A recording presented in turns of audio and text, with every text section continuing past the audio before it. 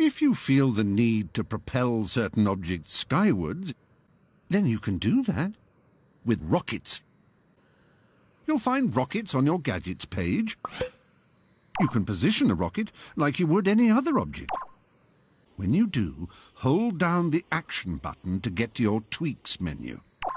You can then adjust boost, which determines how much oomph you want to put into your rocket's launch. The on and off aspect of the tweaks is useful too. If it's on, it'll blast off the moment you close your Popit. So instead, with it off, attach a switch to launch it when you're at a safe distance.